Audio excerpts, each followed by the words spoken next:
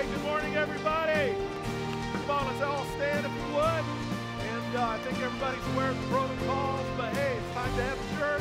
Let's put aside some of the fear and anxiety. Pastor Malik, he's on vacation, but uh, the worship team is ready, so come on, let's put our hands together and worship. Come on now.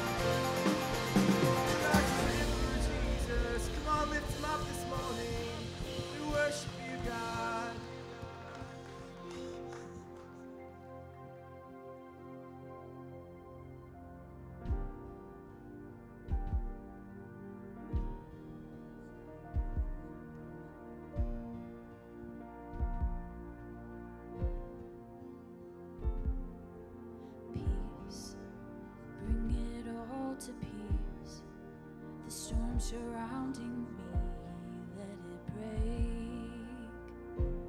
At your name, still, call the sea to still, the rage in me to still, every wave.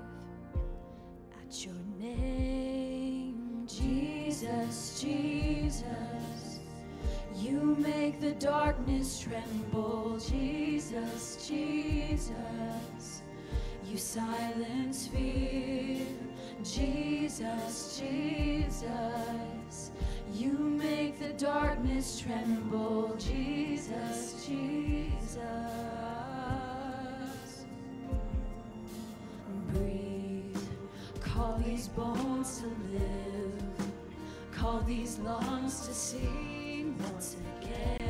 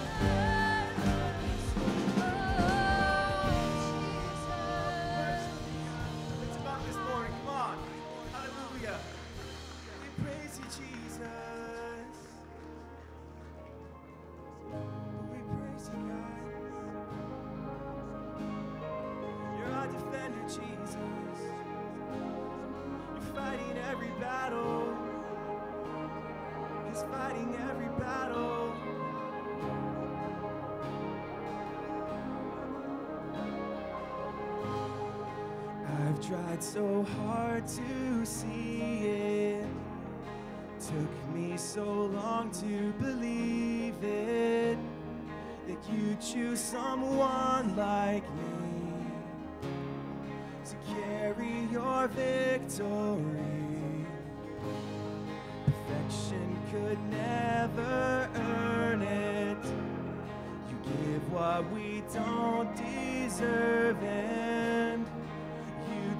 the broken things and raise them to glory. You are my champion.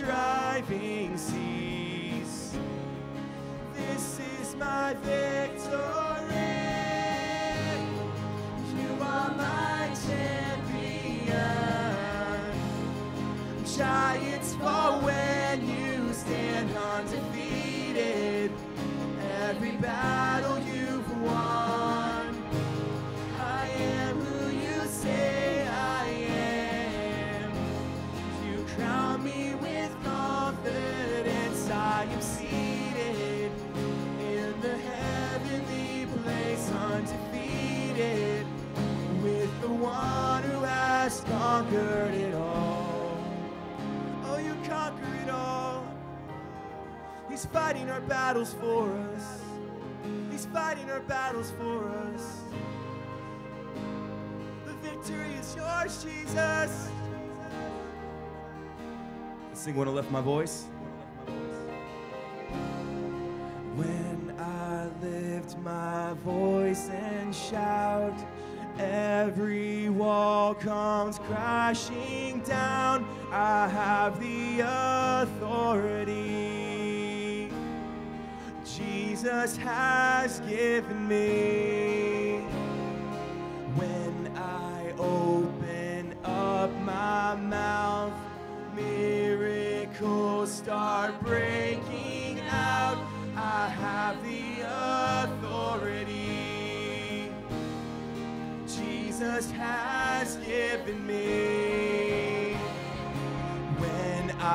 lift my voice and shout.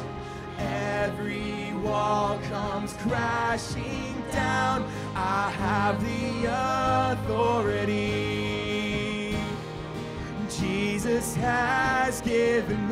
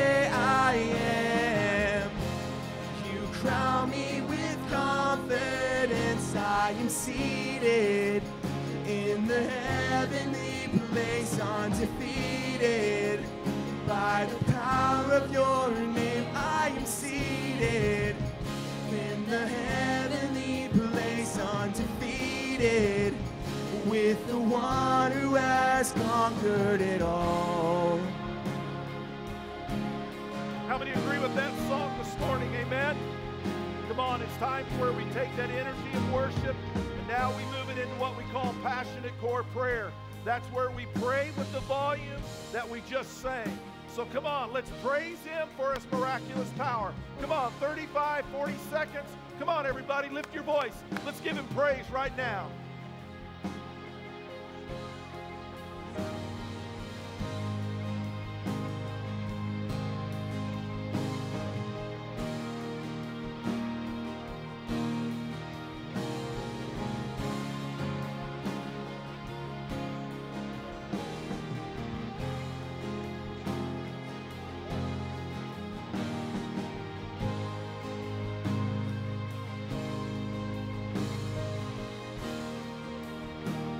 On now, let's ask Him to release that miraculous power in our lives today. Come on, whatever you need from Jesus, come on, let's ask Him for it now.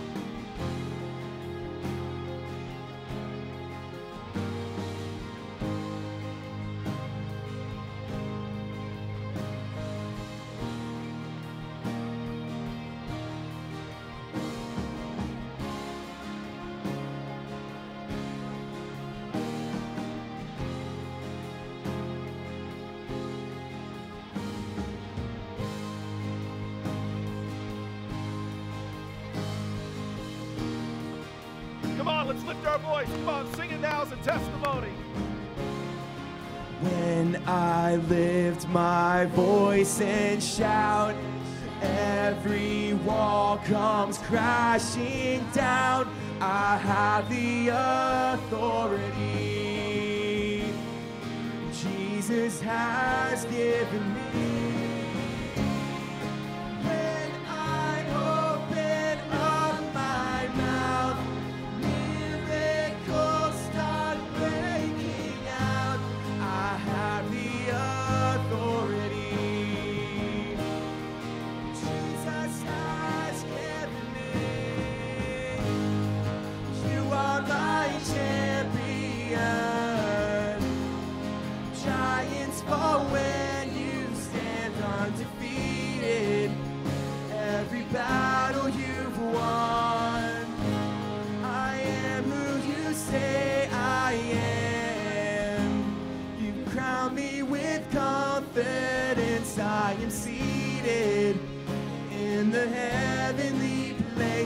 Place, undefeated. By the power of your name, I am seated in the heavenly place, undefeated. With the one who has conquered it all. Everybody gave a shout of amen. Come on, let's give him a praise. Come on, thank him this morning. Hey, it is so good to see all of you here today. Man, we've had a great attendance this week. Man, it's good to see some new faces that have come back. We're glad that you reached that comfort level. It's good to be back and see each and one of you. Usually we uh, have a way that we greet, obviously we've had to change all that. So we ask that you kind of stay where you're at, but instead of uh, doing hi, how you doing in 15 seconds, we're going to turn around, we're going to get eye contact with somebody, and then you're going to tell them something good that happened this past week. That means your conversation has to be very loud. So, when was the last time you had permission to be loud in church? You just got it. So, after you tell them, then give them a chance to tell you something. So, that means for the next two minutes, it should be loud in here. So, come on, turn around, make eye contact with somebody, introduce, and tell them something good that's happened to you.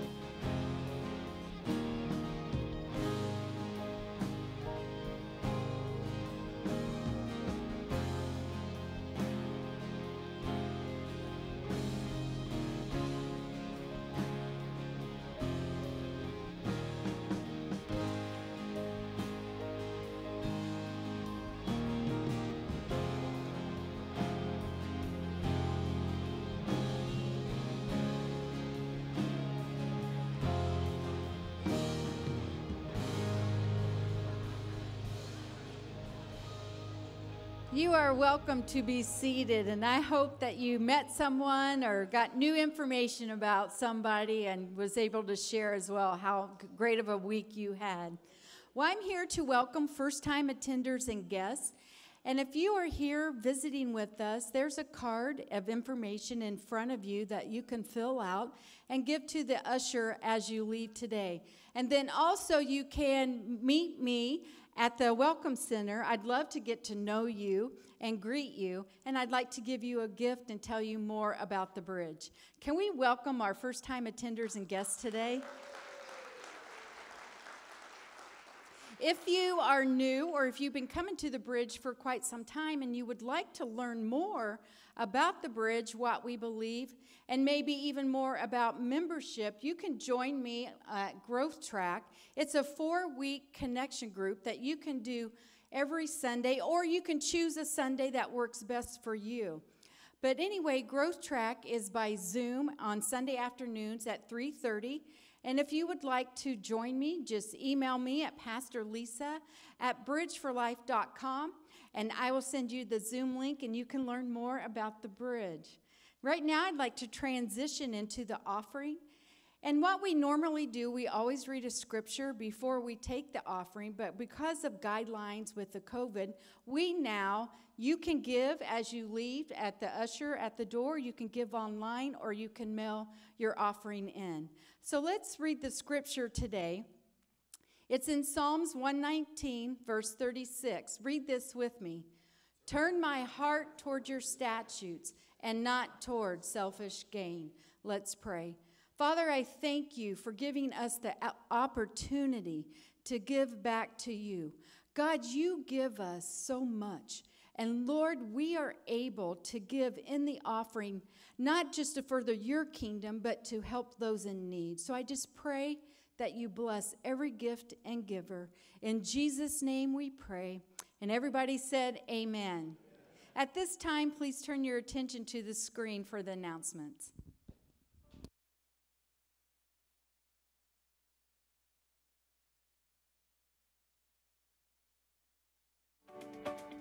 we want to thank you for being with us here this weekend at the Bridge. Whether you're joining in person or online, we are so glad you're here. Here are this week's announcements. Last Friday evening, the Bridge hosted the Fauquier County Fire and Rescue Award Ceremony. The 2019 Citizen Service Award was presented to our very own canteen unit for its major contribution in improving the work conditions and safety of the firefighters throughout the county. A big congratulations to all the canteen team members and the wonderful ministry they provide throughout Fauquier County. Bridge Kids Creative Arts is off to a great start this fall. The kids have been learning sign language, watercolor painting, puppets, and so much more. Creative Arts meets every Monday evening from 6 to 7 p.m. in the White Box. All elementary kids are welcome to join. The month of October is recognized as Pastoral Appreciation Month and the elders want to provide you an opportunity here at the Bridge to show your appreciation to our pastoral team. For the whole month of October, there'll be a basket at the Welcome Center for you to drop off cards, notes, and gift cards. Thank you so much for helping us celebrate Pastor Appreciation Month here at the Bridge. Young adults will be meeting again this Sunday to continue in our small group format. For directions or to simply learn more, you can email elijah at bridgeforlife.com. We hope to see you there. Due to the inclement weather last week, the Men of the Bridge Fall Cookout has been rescheduled to tonight at 4 p.m. at the Gardener's Home here in Warrenton. The Bridge will provide the meat. Just bring your friends and a side to share for a great time of community. Directions to the Gardener's Home will be at the Welcome Center table in the lobby. Hope to see you there tonight. We want to thank you so much for watching today. Please remember to keep up with us throughout the week on our social media. In case you missed any of these announcements, you can watch them again on our website, bridgeforlife.com. We hope you have a great week ahead and look forward to seeing you again next weekend.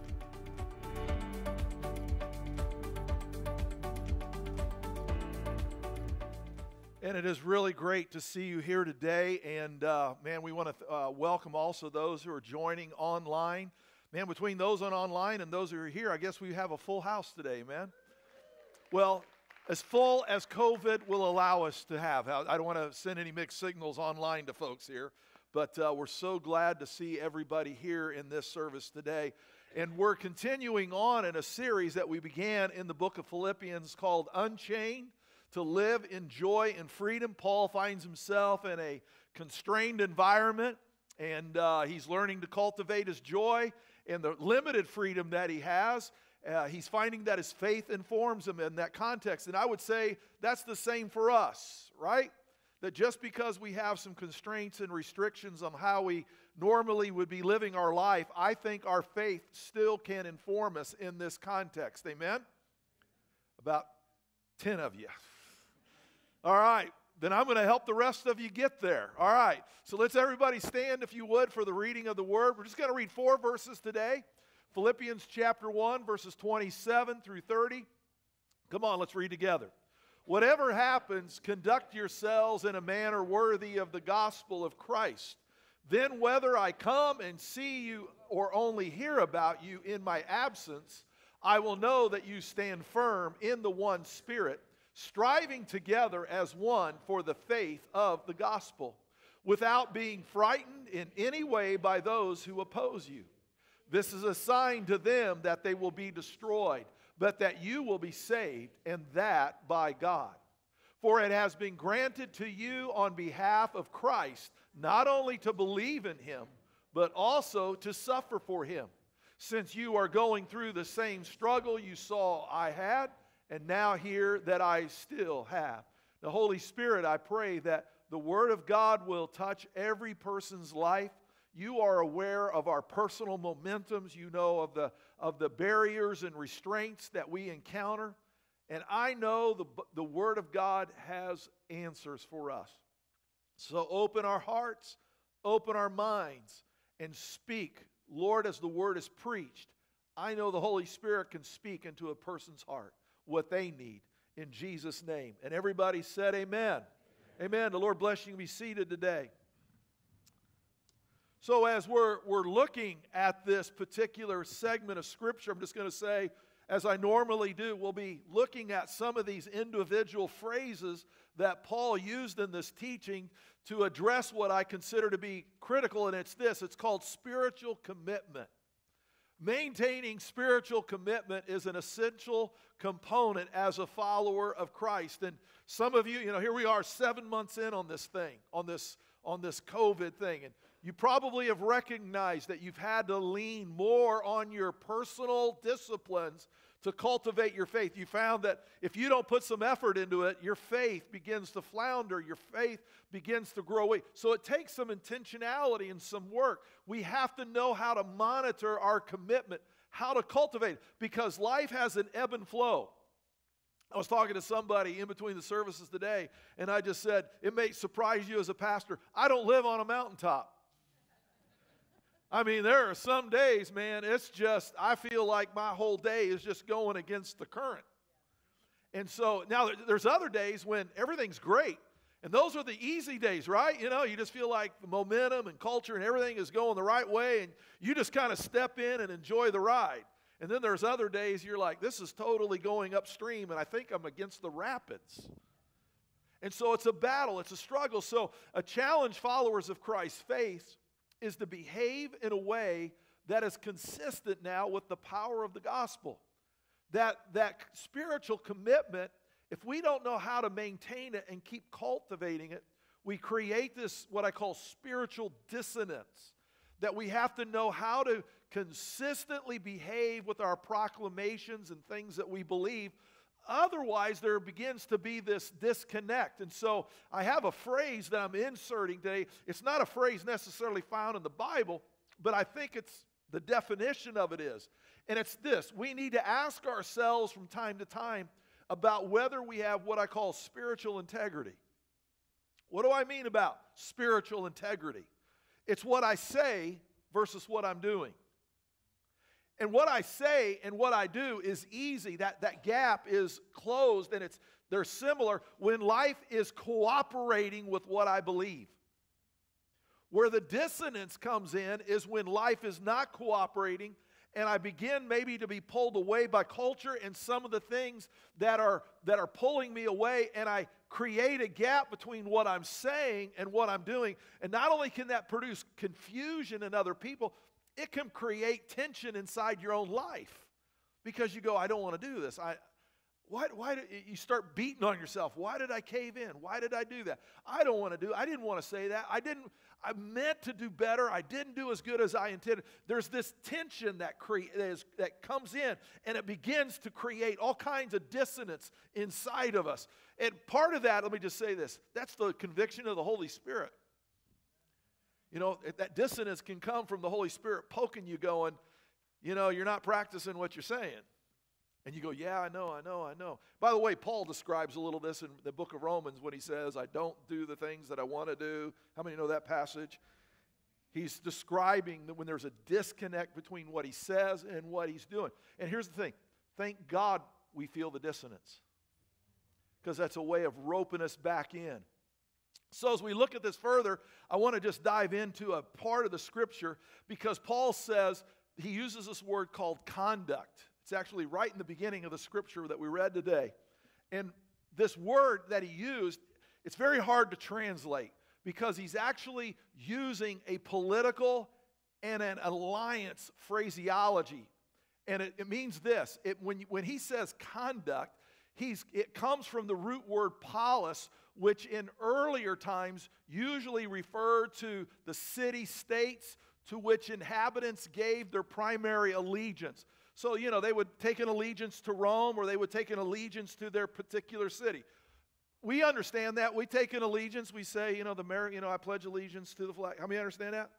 Okay, so this is not out of the ordinary. It's where you commit yourself and you pledge. And then, so he's borrowing this to make a, make a point to the followers in, in Philippi. And he says, and it carries the basic idea of being a good citizen whose conduct brings honor to the political body to whom one belongs. So, this is not trying to, let's say in Philippi, bring the honor of Philippi to them. This term was saying, you bring honor to Philippi. Honor is something that its citizens, by how they live, produces for a city state. It's not something that the government can, can bestow on you because honor comes from its citizens. Y'all, with, by the way, there's a good uh, civics lesson going on right here if, you, if you've missed it. Okay? Honor, listen, honor comes from us. And when we're honorable, our nation is honorable. The nation can't bestow honor. Does that make sense? Because it's made up of citizens. So uh, if a nation is not acting honorably, there is no honor to bestow because its citizens aren't acting honorably. So that's under, we need to understand this is one of those principles that has transcended 2,000 years. Okay? Now, let me go a little more further on this. The Roman society was highly community conscious. Let me what I mean by that. The individual was subordinate to the state. Now listen to me. Not out of coercion, but out of a willing sense of interdependence. Everybody say interdependence. I didn't say independence, and I didn't say dependence, and, and in which citizens took great pride. So, what is independence means? Leave me alone, I'm doing my own thing. Dependence says, I ain't doing nothing because you're going to do it for me. Okay? Interdependence says, we're better if we coordinate our activities together because we can get a lot more done. And this principle is, uh, is still taught in our military today. Okay?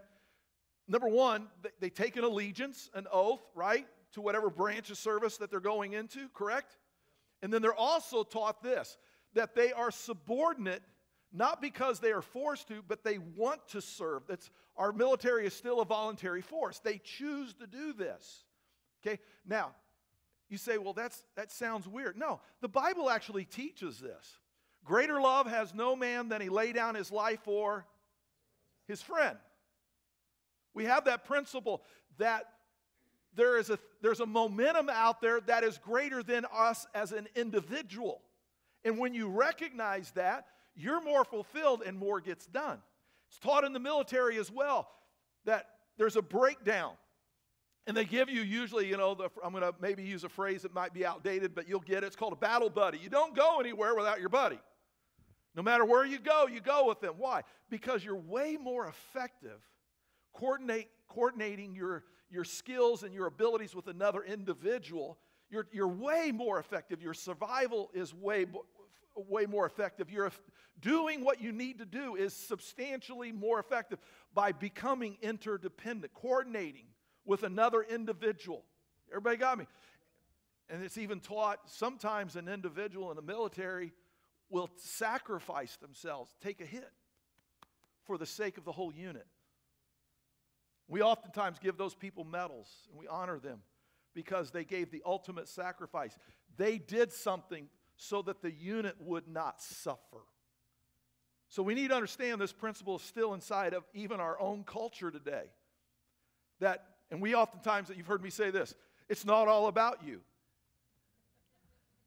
There are still people who are still shocked by that because they think it still is about them.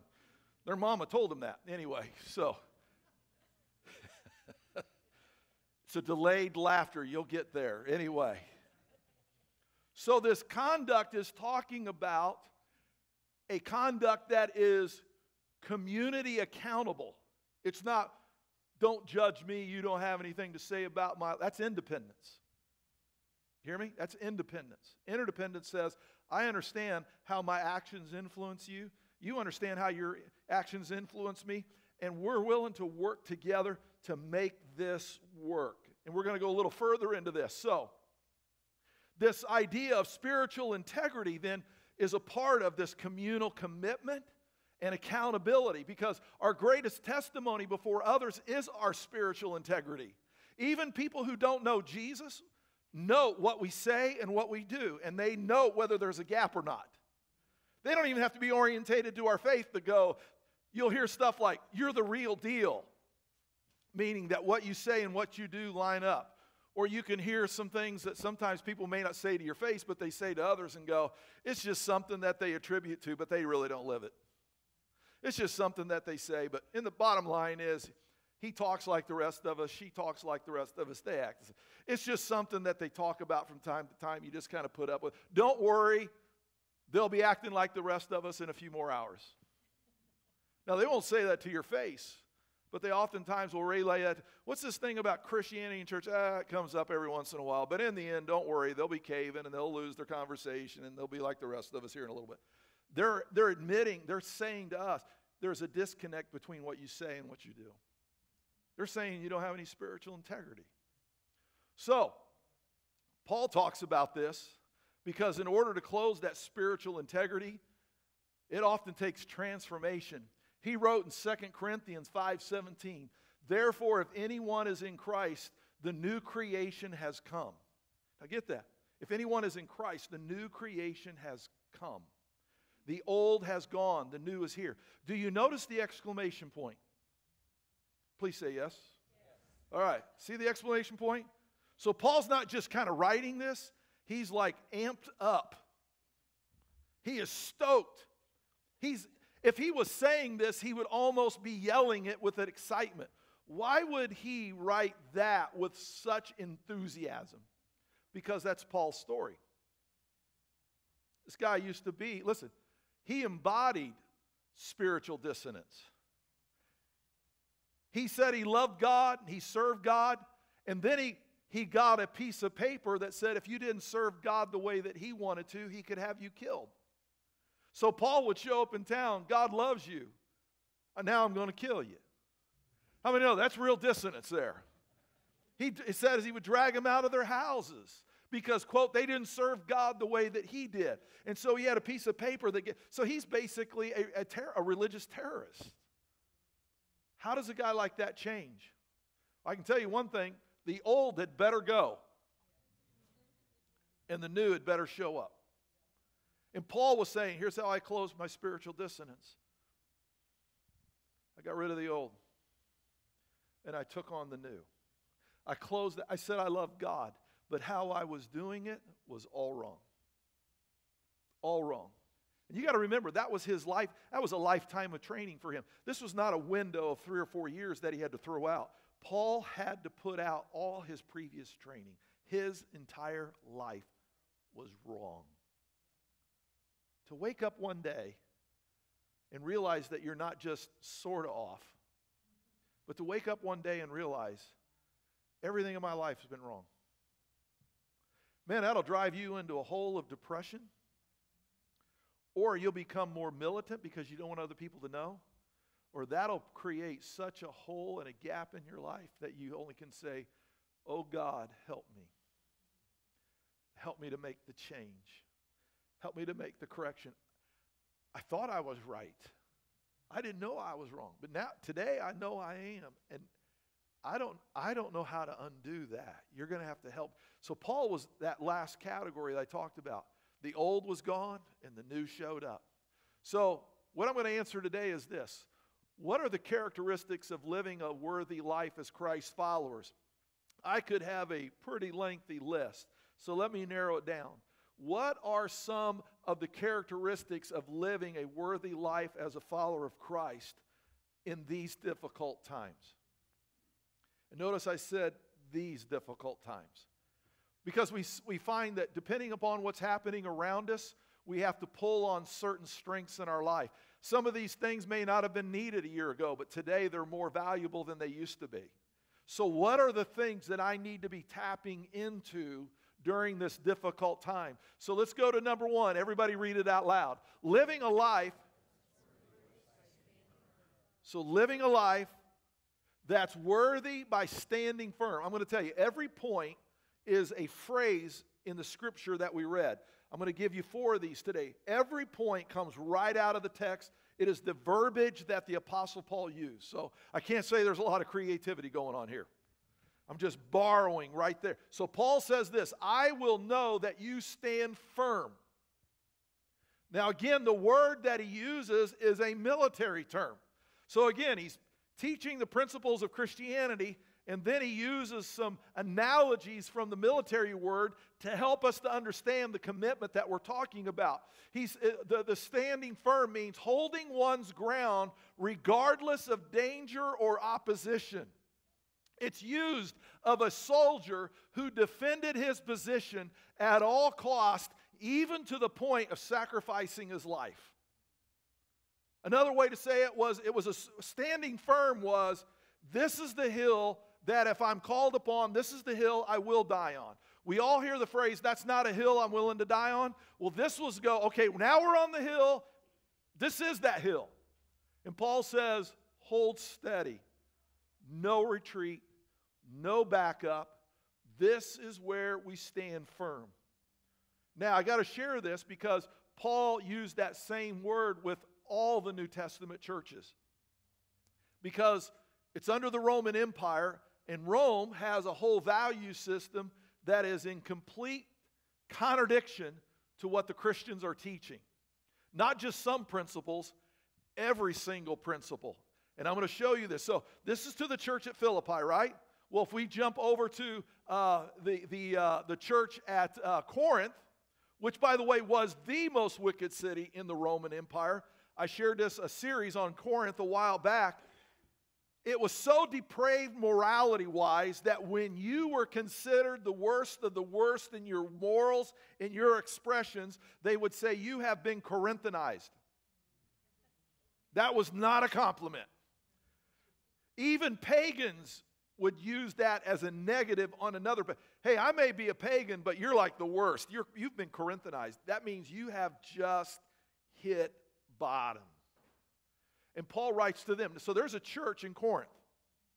He says, Be on your guard, stand firm in the faith, be courageous, be strong. What does it say there? Do what? Do everything in love. So this is not a militaristic uh, expression, it's a commitment.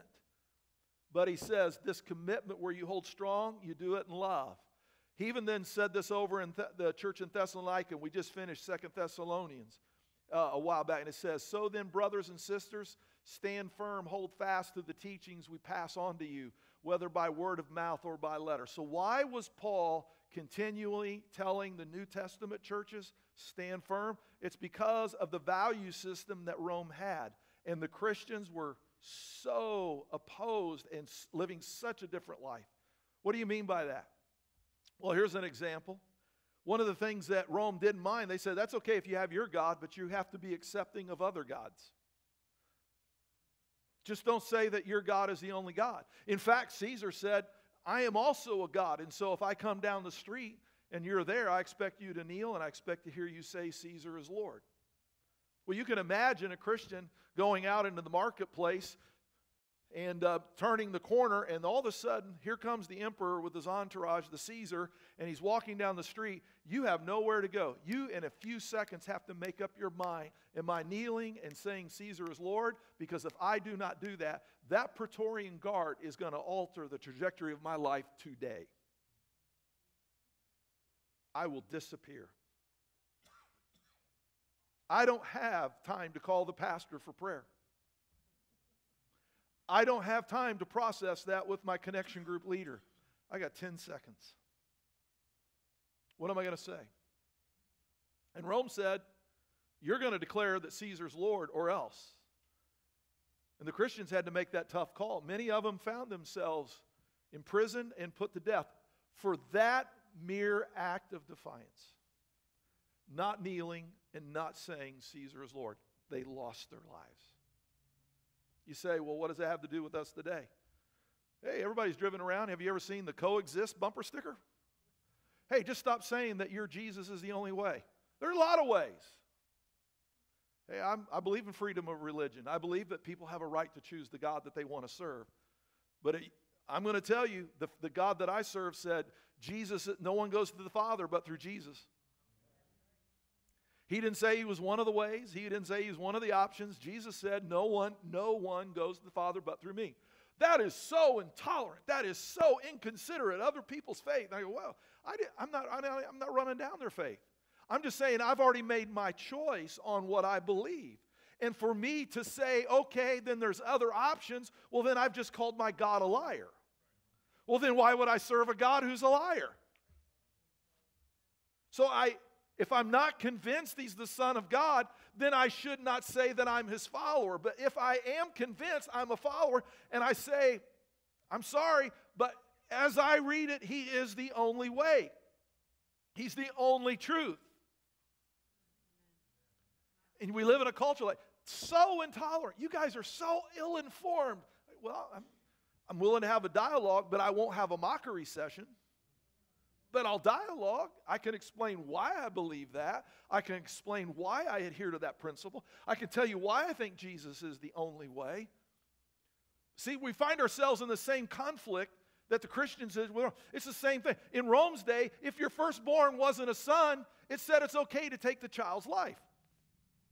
And so many of the Roman citizens would take their firstborn who was a daughter and set it in an alley or take it into the wilderness and let the elements and the animals settle it. And the Christian said, That's not right. I don't care if it is legal in Rome. That's wrong.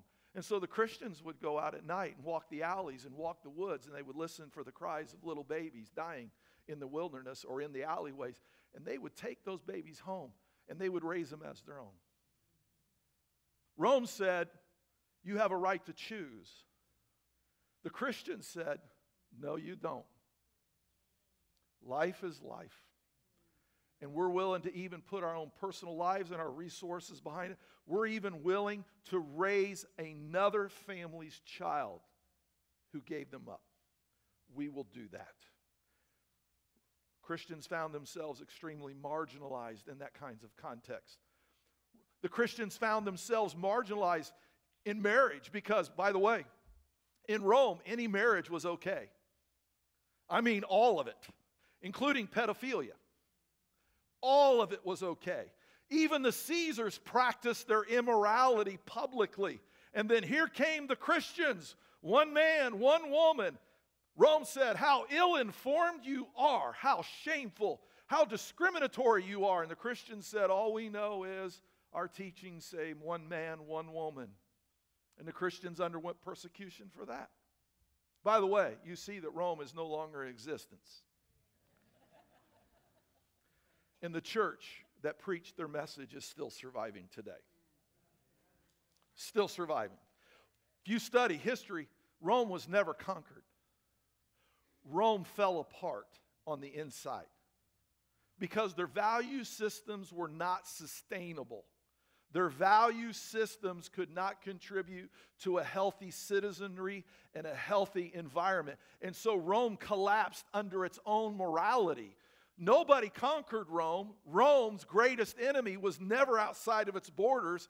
Rome's greatest enemy was in their own hearts. And they collapsed under their own value system. Why? Because it just didn't work. So you say, translate that today. There's this, let's be inventive on relationships. Okay, I see that, but I'm just here to tell you it won't work. It'll collapse. It has its own faults inside of it. I'll give you a little history that you may not even be aware of. Did you know that the government didn't even miss, uh, issue marriage licenses in the United States until 1920? Did you know that before 1920 there were no marriage licenses? That if you wanted to get married in the United States, you had to go to the church.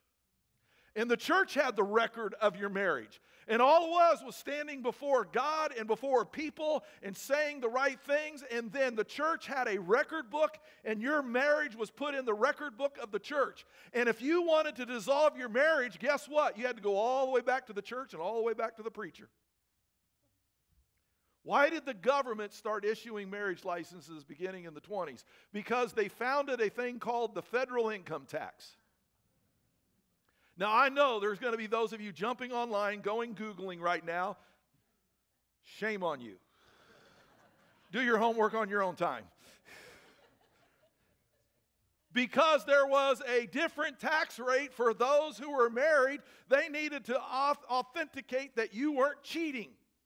So that meant that the government needed to be aware that you had a quote legal marriage so that when you took the tax write off, you weren't cheating. So, all through the 20s, the states were implementing their marriage licenses. I think one of the last ones happened around 1930 to 1931. That was the last, and I forget the last state. I want to say Arkansas, but I can't be sure of that. I might just be mocking Arkansas. So, anyway. But anyway, the point being was the marriage license is relatively new in our culture. Let me just say this. And now you see what happens when the government interferes in the value systems. That's why it never had a chance. Because it was the Christians who introduced the marriage concept into culture. It was the Christians who, who said, This is what marriage looks like, and these are the principles, and these are the frameworks and the guidelines. And, and it worked so well that even people who weren't Christians wanted to practice marriage that way. And now the government has usurped the church's authority. All started with a federal income tax, and now they're just writing what marriage is left and right. They're just making all kinds of things up, and they're with no understanding of the history and where it came from and why did the. By the way, all religions have a variety of what their idea of marriage is. It just so ironic, the Christian one is the one that helps societies be healthy. Isn't it amazing? Our value system even works for people who don't adhere to it, but it still works for them. It stabilizes home, it stabilizes kids. It, I didn't say it was perfect. It's got its, but it's, it's got its issues, but I'm just here to tell you, it beats anything the world's coming up with. And the Christians found themselves marginalized because, quote, they weren't woke. well, from what I've seen from the woke, you should have stayed asleep.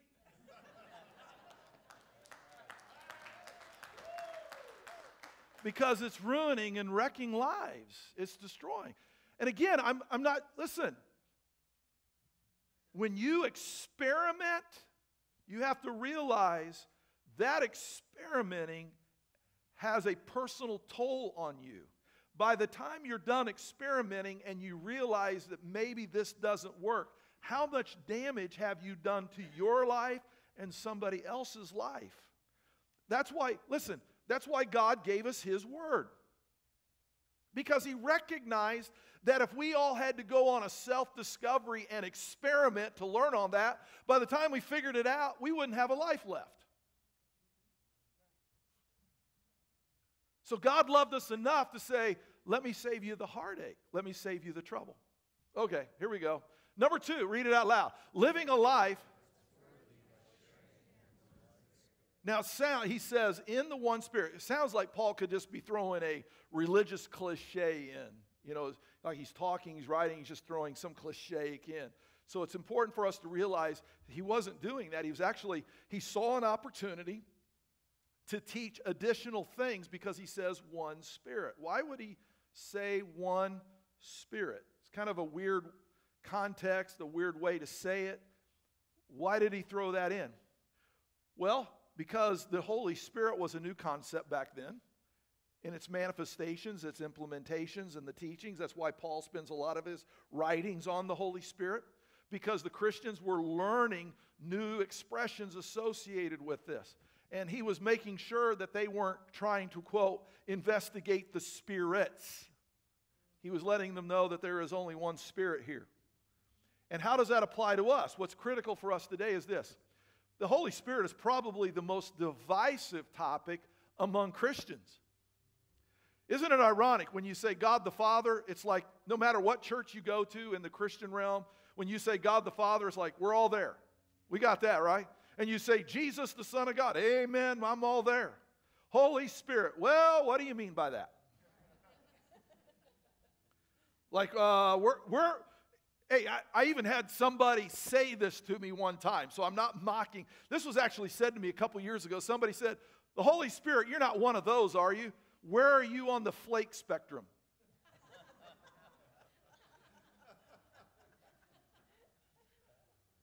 Isn't that an interesting take? They just automatically assume there was something, you know, some liberalities that were being taken there, and they said they flake spectrum. I said, You know, I've never had that said to me before. But I said, I actually understand why you said that. I may not know your personal story, but I can only imagine where it comes from. So, no matter, can I, can we, let's just say this. I don't care what teachings you've had historically, I don't care what church you grew up in, I don't care what the doctrine of that particular church was and where you find yourself on the spectrum or whether you're on the flake spectrum or not, okay? Whatever the case may be. How about we just make an agreement here for the next few minutes? We're just going to see the scriptures that speak to the Holy Spirit. And let's look at the context of the verse. Does it sound like it's relevant for everyday life? Okay, does that make sense? Can we get, a, can we get an honest, objective jury today? You're not going to be preconceived one way or the other. We're just going to say, if I was a blank slate and I was reading these verses, what would it be telling? Would this be telling me that the Holy Spirit is for today? Here we go. Galatians 5:16. So I say, walk by the Spirit and you will not gratify the desires of the flesh. Does he say used to walk by the Spirit?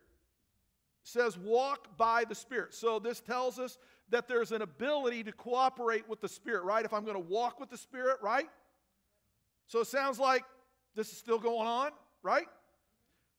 Galatians 5:17 For the flesh desires what is contrary to the spirit and the spirit what is contrary to the flesh they are in conflict with each other so that you are not to do whatever you want. So this says my flesh has a collision with the Holy Spirit. You see that? How many have ever been tempted to do wrong and then there was another part of you going, You don't want to do that? I'm just seeing who's going to be honest and the rest we're going to pray for you. Okay?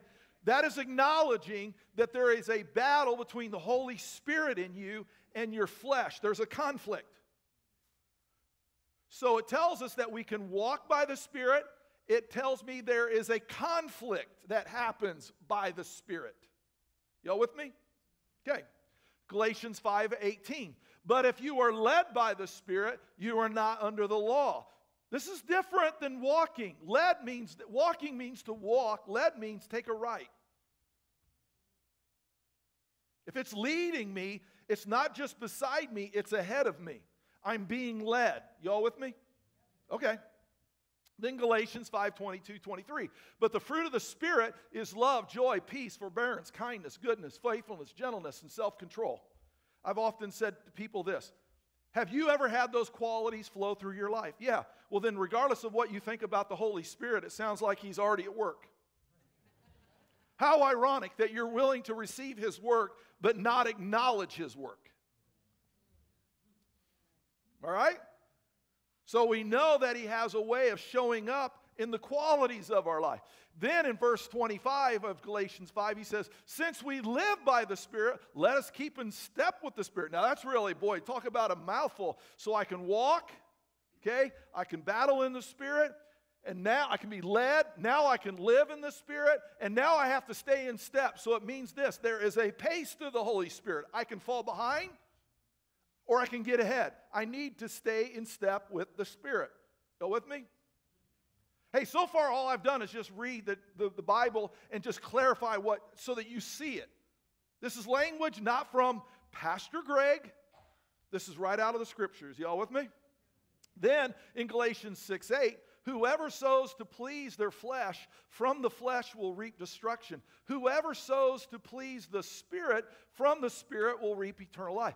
We would thought if, if you were resistant to the Holy Spirit, you would have liked that to have said, Whoever sows to please Jesus. But he doesn't say Jesus, does he? He says what? Spirit. So this tells me this I have an ability to cultivate the activity of the Holy Spirit in my life.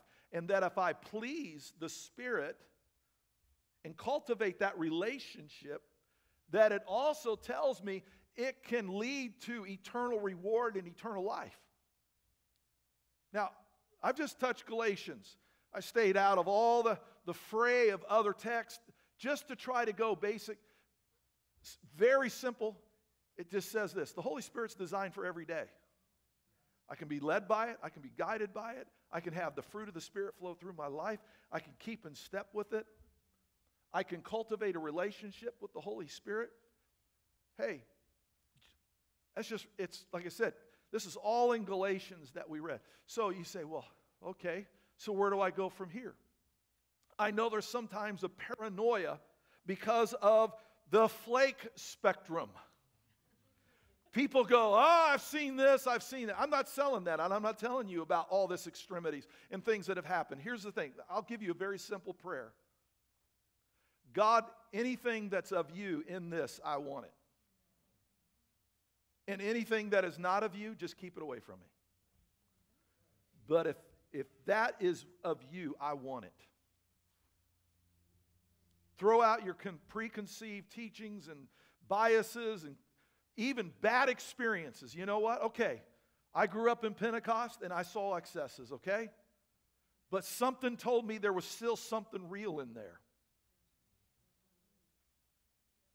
I, I didn't agree with some of the excesses I saw, but I knew there was something, and I just said, I just want the real stuff. Get the excesses off, but I just want to see the real stuff. And if it's real, I want it. But I'm not willing to toss it all out just because I found a few aspects being distorted. That would be like this having people misinterpret Scripture every once in a while. Well, therefore, I'm never going to read the Bible again. No, okay. No. The reason you knew they were misrepresenting the Bible is because you were reading it. You need to stay engaged reading the Bible. You don't get rid of the Bible just because a couple people distorted its teachings. In fact, all the more reason to engage the scripture so that you know when somebody's messing with it. All the more reason, let's stay engaged with the Holy Spirit. Why? Because then when people abuse you know because you have that relationship with the Holy Spirit. You can go, hey, the Holy Spirit works in my life, and I'm telling you, that's not what it's supposed to look like. Absenting yourself is not a good thing, especially when God gave us to live by the Spirit. Amen? All right, I know when it's always time to move on, and this is that time, okay? I could stay on that for quite a while. Number three, let's read it out loud. Living a life that's worthy by striving together. He says, striving together as one for the faith of the gospel without being frightened in any way by those who oppose you. Now, listen, the word striving together is an athletic term. In fact, that word in the Greek is where we get our English word athlete. And it was used generally to refer to, to compete in a contest, especially in a sport such as wrestling. So he's saying striving together. So it's, it's, it's almost like a, a wrestling match. However, he uses it in the context of, of, of being, being done with others. So he said, We are together in this wrestling match. It's a tag team. You're in now. You wrestle. Now it's my turn.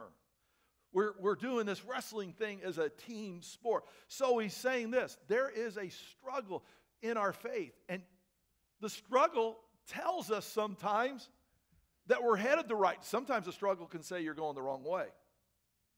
But sometimes the struggle says I'm headed the right direction.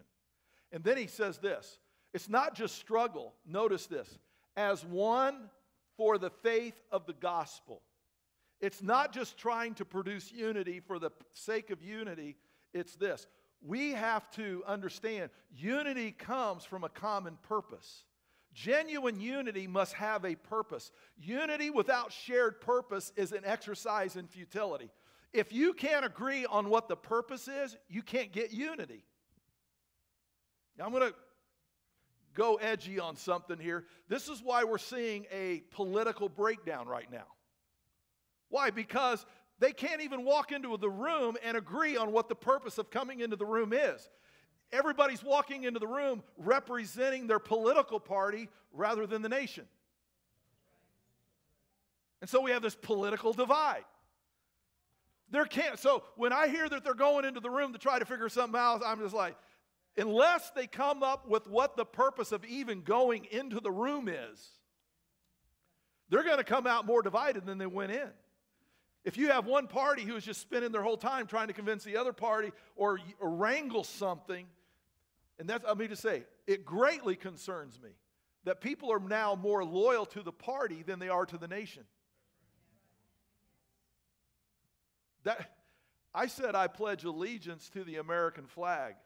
I did not say I pledge allegiance to the Republican platform or the Democratic platform. I pledge allegiance to the flag of the United States. Parties need to get back to serving the country rather than trying to get the country to serve them. And that's why I said this, this is impasse. Folks, they can't even agree on how to spend money. I mean, that is the most basic 101 category of any life is, honey, where do you want to go to eat? You know what I'm saying? I mean, it's just, it's just, it's just like basic 101. Just spending money. And there's this, it takes forever, this wrangling. It's like, because you guys don't have the same purpose. You have self serving interests. Oh, God, give us leaders who love people rather than a political party. Did I just say that? and then he goes on to say, Those who oppose you. Those who oppose you. Now, we're all prepared for people outside of our faith to come after us. But Jesus brings up something in Matthew 7 15. Watch out for false prophets. They come to you in sheep's clothing, but inwardly they are what? Ferocious. Well, he didn't say they were wolves, he said they're ferocious. Wow. That's pretty descriptive. It's one thing to, well, they're a wolf, and it's another thing, oh, but they're a ferocious, they're a ferocious wolf. How do you know a wolf is ferocious. A ferocious wolf is man. A, you can look from a distance. You might drive through a park and see a wolf and go, "Oh, isn't that wolf just beautiful? Look how graceful." Okay. Now injure yourself and lay in front of the animal and watch it manifest itself. and as it growls and its teeth are snarling and the pack comes around you a little bit, suddenly you start to go, "Hey, you know, this is not so graceful." You know, this, this, and why, why did that beautiful animal become so ferocious? Because an opportunity presented itself that it couldn't contain itself. Ferocious wolves are revealed when an opportunity presents itself and they just can't resist. They have to go outside the boundaries. It's just, it's too much for them to stay a person of character and faith. They have to go out of character. They feel like they have to embellish the situation because of what's in. Notice it says inwardly. They're, there's a wild side to them that they've never given control to the Holy Spirit. You go on, and uh, Paul taught the same thing. He's in Ephesus as he was leaving the church. By the way, these are scriptures that make us all uncomfortable because we don't like, because you know, you're like, well, man, do I need to be paranoid? No, you don't need to be paranoid. You just have to understand that sometimes difficult times reveal what's happening inside of a person because under calm circumstances they could control it. But when an opportunity and difficult times presented itself, they couldn't contain themselves. He says, Keep watch over yourselves and all the flock of which the Holy Spirit has made you overseers. Be shepherds of the church of God which he bought with his own blood. We don't have any problem there. And then listen, I know that after I leave, savage wolves, notice that savage wolves will come in among you and will not spare the flock. So he's saying, Be cautious of what comes. But look at this. Even from your own number, men will arise and distort the truth in order to draw away disciples after them he says they will start playing with this. And we see this in the Christian circle. Suddenly, we got pastors who have been woke. And they're starting to let a lot of things beginning to happen in their congregations, in their services, and you're just going, and they've, they just basically have said, well, we've been misapplying and misunderstanding Scripture. No, you haven't been misapplying, you haven't been misunderstanding. You just got tired of holding the line, and it's just a lot easier to cave so that you don't have to put up with so much opposition anymore. You're t- you loved it when culture liked you. But now that we find ourselves being marginalized, you're just, you're just tired of having to put up with not being liked. And so you're trying to be this community leader so that people will like you. You've, you've messed with the truth. And now we got people who are confused about what is Christianity? What does it stand for? And let me just say this if you're here today, let me just say the Bible says speak the truth in love. This is not about running people down. This is not about forcing somebody's will on somebody else's will. Let me just tell you today if you're not a follower of Christ, you absolutely have a right and a choice to make in your own life. No one has the right to remove from you your decision that you feel that you want to make. Even God will honor your choice. But what you have to say is this you have to be willing to live with the outcome and the consequences of that decision. Not that anybody's going to come after you, but I'm just telling you, God's word tells us the, the, decisions that bring benefit, and He tells us the decisions that bring conflict and the decisions that bring trouble. And we have a right to say, I don't want to hear that. But then you have to be willing to live with the consequences of those decisions. A man reaps what he sows. So hear me today. That's why, that's why serving Christ is a choice. That's why you can't force a child. To, you can raise them so they understand, but in the end, even a child has to make the decision on whether they want to serve Jesus or not. It is the human will. And everybody said amen. amen. All right. Last point. Number four, let's read it living a life that's worthy by suffering for Him, which is Christ. Now, as I wrap this up, look, I, this is probably not the best note to send everybody out on. on a, this is not necessarily a yippee skippy moment. Somebody made fun of me for saying that a few weeks ago. They said, Are you from the Midwest? Yes, I am. for it has been granted to you. Now, stop there has been granted is a Greek word charizo, which is where we get our word grace. So that means to give or grant great or to give graciously. So, for it has been granted to you, it has been graciously given on behalf of Christ, not only to believe in him. So he has graciously given us the ability to have the, the choice to believe in him. How many that's great, all right? But also to suffer for him. Well, that don't sound like grace. When was last? I mean, think about this. God said, I'm going to be gracious. I'm going to let you make your decision on whether to believe in me. But I'm also going to give you the grace to suffer as I did. Well, I don't see that as grace. I'm like, hey, I, I would rather have the grace that I don't have to suffer that way. But he says, grace, but also to, and notice as Paul says, since you are going through the same struggle you saw I had, and now here that I have, I still have. Paul said, He's giving you the grace to believe, but He's also giving you grace to go through the suffering that Jesus went through, and He's giving you the grace to go through exactly what I'm going through. Wow. Who would have ever called that grace?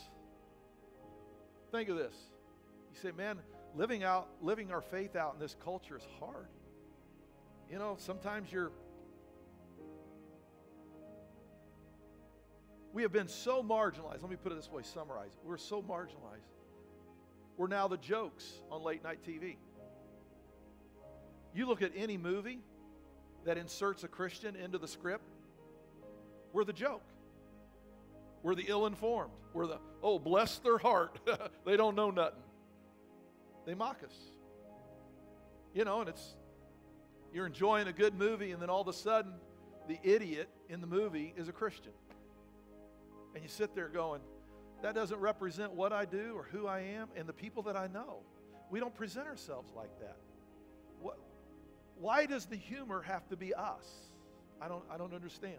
With all the good that we do, all the people we help, all the changed lives that we are involved in doing, and, and just the whole, and we're, we're the funny people. Okay. Jesus had that.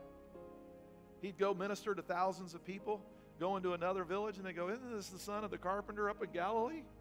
And they said, Can anything good come out of Galilee? Then he'd go to the next time and they next town and they said, Crucify him. He, people over here loved him. People here mocked him. And people over there said, Kill him. And Jesus said, Just thought I'd share a little bit of the glory with you. Welcome to our world. Welcome, welcome that he says that they're still perse- persecuting me and they're still mocking me. God says, I'm giving that to you as grace so that you understand what it was like. That's why, that's why it says in James, consider it pure joy when you go through trials. Wow, okay, why? Because you suffer as Christ did. He says that's grace. Let me tell you as we wrap this up, Jesus can change your life. Anytime, anytime, anywhere, when you're ready. And everybody said amen. Come on, let's everybody stand and wrap up the service. Come on. Would you just lift your hands this, morning before we dismiss? Come on. Praise Him for His grace in your life. Praise Him for the power to live out the gospel in such a conflicted culture, such a conflicted time. Come on, let's praise Him for that.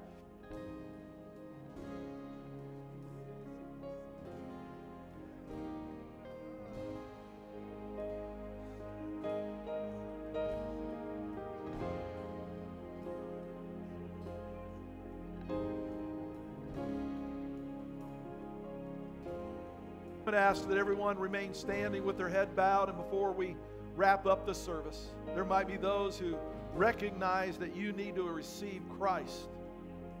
It's not my intent to do this in a way that brings any embarrassment, unwanted attention, but you would just say, Man, today I want to receive Jesus. In just a second, I'll say, If that's you, lift your hand. Let me just tell you what I'll do. When I see your hand, I will acknowledge it in a general way. I won't call out who you are, where you're seated. I'll just say enough like, I see your hand, and that means you can take it down. And if anybody has lifted their hand during this period of time, I will lead everybody in a prayer, and that's your chance to accept Christ. And you say, All right, then today's the day I'm going to be accepting Jesus. If that's you, can I see your hand this morning? Anywhere across this place? I don't want to miss anybody. Yes, sir. Yes, sir. Anybody else? You say, I'm going to be accepting Christ. Yes, ma'am. Yes, ma'am. Anybody else? Come on, everybody together, out loud, say this Dear Jesus, I come to you taking responsibility for my life. And so I confess my sin. I acknowledge my failures. I acknowledge my shortcomings. And I ask for your forgiveness. And I ask that you come into my life and become my Lord and Savior. I receive you now. In Jesus' name, amen. Come on, let's give the Lord a clap. Come on, thank Him for that today.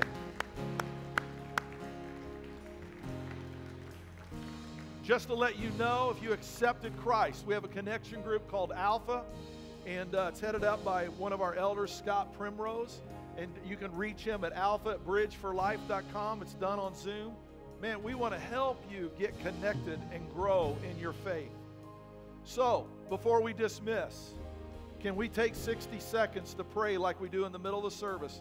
And I want to pray for our nation that God heal the division, that God heal the hatred, the animosity, and God to not only help our current leaders, whatever leaders are coming in the future. Please, God, work in all of them, not just some of them. Can I get an amen? Come on, 60 seconds. Everybody lift your voice. Come on, pray for this country. Pray for the leadership. Come on, everybody, lift your voice.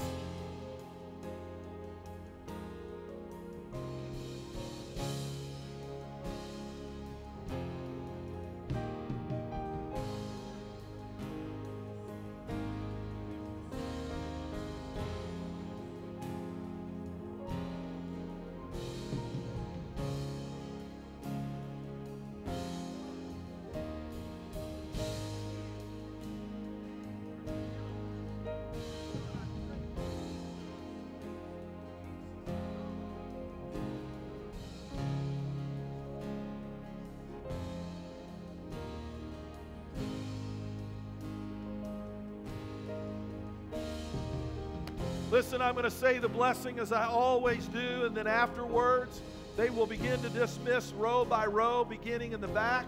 Please stay there in your seat until they get to your row, so that way we don't all congregate in the aisle together.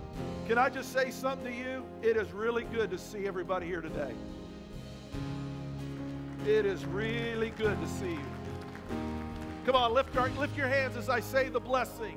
I bless you in the name of the Lord. May He bless you in this city and in this county. May the fruit of your womb and the crops of your land, all your livestock be blessed. May He bless the work of your hands at home, at work, at church, in this community. May He bless your coming and your going. May the Lord grant the enemies that are rising up against you be defeated. When they come at you in one direction, let them flee from you in seven directions. May the Lord send a blessing on everything you put your hand to do. May He continue to establish you as His holy people. May all people see you have been called by the name of the Lord. May the Lord grant you prosperity, opening up the heaven, the storehouse of His bounty. May He bless the work of your hands. I bless you in the name of the Father, the Son, the Holy Spirit. Everybody gave a shout of amen. Come on, let's sing it now as they come and dismiss us. Come on, lift your voice.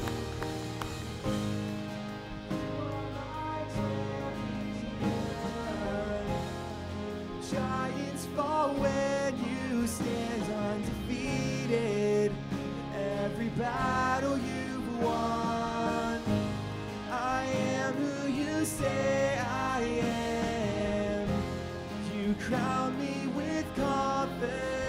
I am seated in the heavenly place, undefeated with the one who has conquered it all. When I lift my voice and shout, every wall comes crashing down. I have the authority. Jesus has